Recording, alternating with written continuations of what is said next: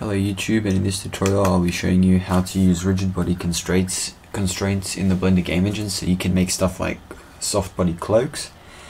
Uh, if you're not sure what that is, it's just like, you know, in Assassin's Creed where your character flies around everywhere and his cloak flaps in the wind and it's a nice little effect that you can add very quickly. You can also use this for dangling light bulbs. It's really simple and it's easy um, all you need is two objects. One is going to be the player, and the other is going to be the said cloak, which I'll just keep as a plane for now. And when you make it, the cloak, press Control A, um, rotation scale, and location.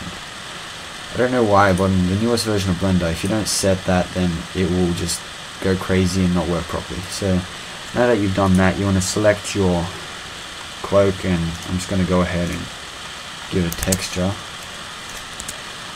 And you want to give it a soft body physics and give it collision bounds to triangle mesh. Linear stiffness down to you know, up to 6 and turn off shape match. So you can just test that out by pressing P to play and it falls. Oh and one more thing um, turn backface culling off. That way it won't be invisible Oops. I don't understand.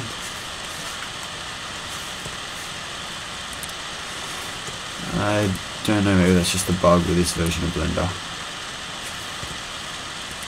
I'm not sure. Yeah, I don't know. Okay, so now that you've done mucking around with that, you want to subdivide it a couple times so it will actually act like a soft body. So you can go ahead and test that, drop it on the cube we go and give the cubes dynamic physics with collision bounds box. Now you want to place this more or less in the position that you want your cloak to be. And you're going to add its constraints so it doesn't go off moving everywhere. So you want to click here on the constraint button.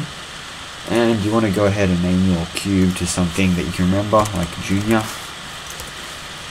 And select your plane and give it uh, about two rigid body joint constraints in relationship. So two rigid body joints. Both of them have to be hinge. So they're a hinge kind of joint, like a door is a hinge joint and only rotates in one axis. A ball joint is every single axis. So we only want a hinge. We don't want the cloak flapping around everywhere. So you want to change the target to junior for both the things. And you want to go display pivot and move the pivot to where you want the object to be held in place. Uh,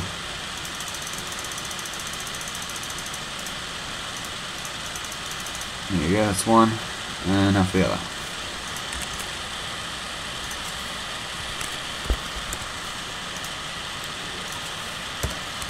There we go. Oops. Oh.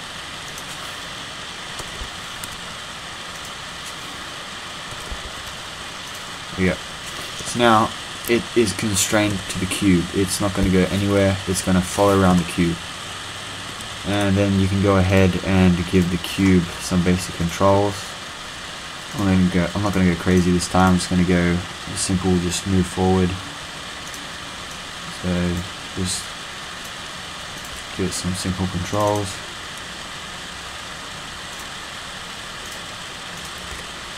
And you can go ahead and play and test it out. It's a bit weird I guess because the soft body collisions isn't exactly perfect with the Blender game engine. I'm still trying to figure out how to get it nice and awesome so it doesn't go through objects and stuff like that. So I might upload a video tutorial later on how to do it properly, but there you go. One other thing is um, you want to change this to, what was it? Uh, yeah, you want to change the mass of this to something higher, like 13. As long as it's higher than this, otherwise it'll be pushed around by the object. Alright, so that's about it. You can muck around with margins so it doesn't go through as much, stuff like that. So thanks for watching guys, hope you liked, please subscribe and comment. If you have any questions then just send me an inbox. Thank you.